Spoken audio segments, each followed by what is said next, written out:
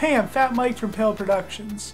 I know Christmas isn't for a while yet, and I'm not a fan of Christmas myself, but I've been hard at work making a Lazy Day Let's Play Christmas special.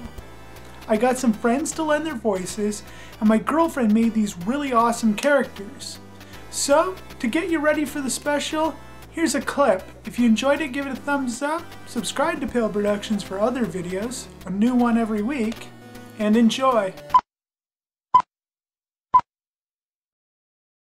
Ugh, where the hell could they be? Wow, there is a lot of underground fighting down here. I got one coin on Ken! Come on, you son of a bitch, whip his ass! Oh no!